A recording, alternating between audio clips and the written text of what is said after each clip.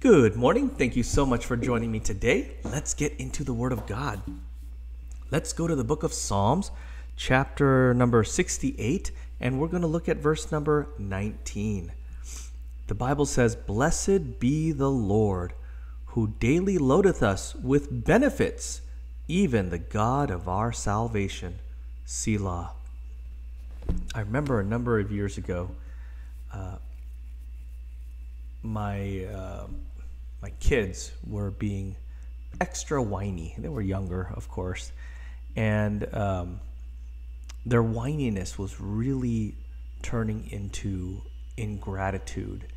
And so I had them sit down and make a list of you know things they were grateful for, things that uh, they had that they were glad that they had.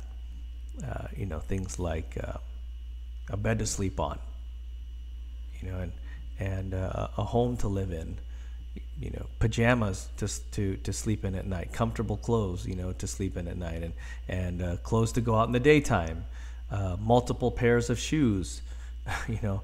Uh, you know, toys and know, all kinds of stuff. I had them. I had them write these things down, and then I had, you know, obviously as a dad, I had to lecture them. you know, sat down and gave them a whole big long lecture. And I told them, look at this list. Um, you know, how many times have you thanked the Lord for these things? And yet, how many times have you whined because you did not get what you wanted? You know, and, you know, that may be a bit childish, of course, if they were children. But, you know, if we are honest with ourselves, how many times do we do that when we don't get our way?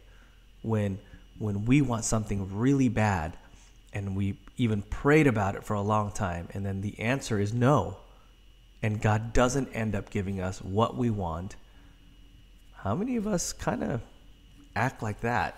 right? Like my kids did many years ago. I'm not going to lie. I'm guilty. I've done it. I have absolutely been ungrateful, uh, you know, and, and uh, of course I regret it every single time. Uh, but, but I've been there, done that. You know, it's it's um, it's it's one of the greatest temptations uh, that of you know Satan that he tempts us with uh, on a regular basis to lose focus on what God has given us and focus only on on the thing that that we're not allowed to have, you know, that we can't have, or that we don't have. You know, maybe maybe God is is waiting to give it to us later, but we're so greedy we want it now. This verse is very powerful. It says, Blessed be the Lord. I mean, here the psalmist is blessing God, who daily loadeth us with benefits. Daily.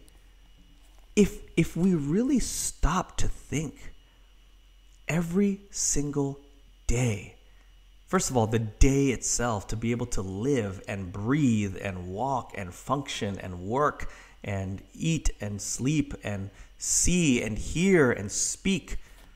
All of that just just being able to live another day is a gift in and of itself from the Lord.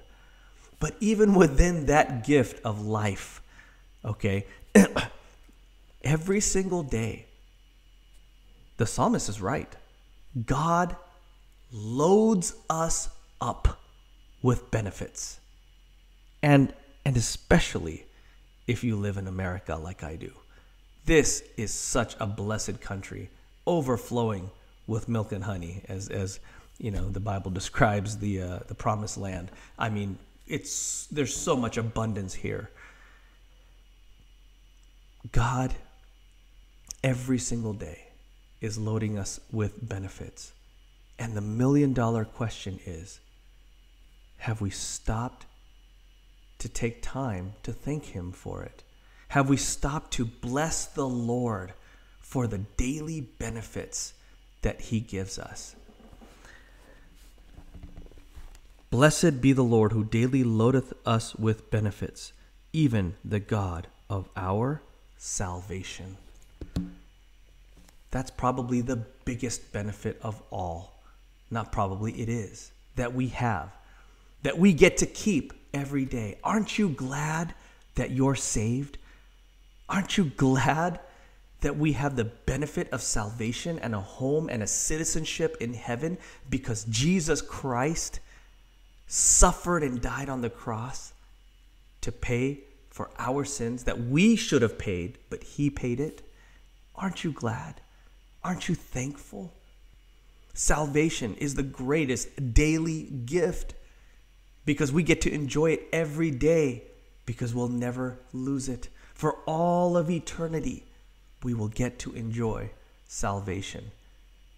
And of course, plus all the other benefits that come with being a child of God. So I encourage you take the time to thank God for the daily benefits. Bless the Lord for the daily benefits that he giveth to us, to you, and to me. Thank you so much for joining me today. God bless you. Have a wonderful day, and we'll see you tomorrow morning. Bye bye.